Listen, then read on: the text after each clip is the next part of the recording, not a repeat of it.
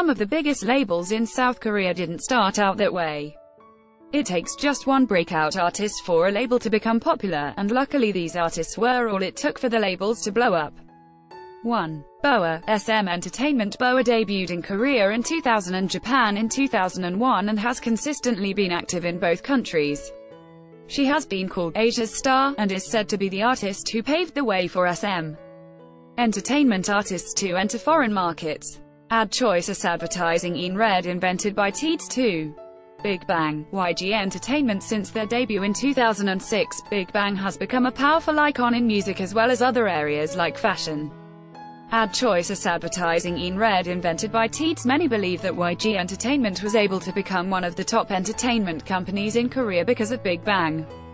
3 BTS Big Hit Entertainment This list would certainly not be complete without BTS, who has been gaining international attention since debuting in 2013.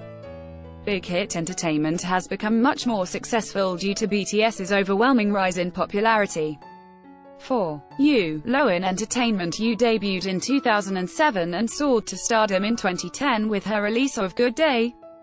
She has stayed consistent in terms of popularity, allowing her company to grow as well.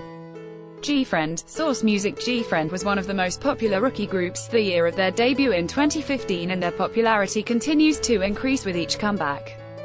Their success has allowed their small label, Source Music, to continue to promote them well. 6 INFINITE, Woollim Entertainment Infinite has been successful since their debut in 2010.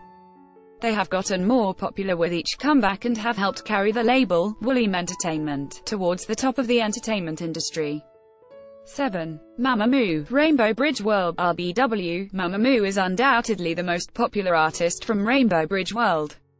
Since their debut in 2014, Mamamoo has blown up in popularity and is gaining more fans with each comeback, helping the label get more successful as well. Haters claim TWICE's popularity is declining, but this video proves the exact opposite.